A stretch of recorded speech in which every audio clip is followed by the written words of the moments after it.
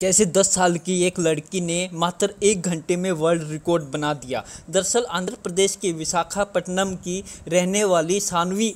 प्राजित ने एक घंटे में 33 अलग अलग डिशेज बना दी और ऐसा यूनिक काम करके उसने वर्ल्ड रिकॉर्ड अपने नाम कर लिया वैसे गर्ल्स आप कमेंट करके बताओ कि आप घंटे में कितने डिशेज बना सकती हो बॉयज़ को चैलेंज देने की ज़रूरत नहीं है उनसे एक बन जाए वही काफ़ी है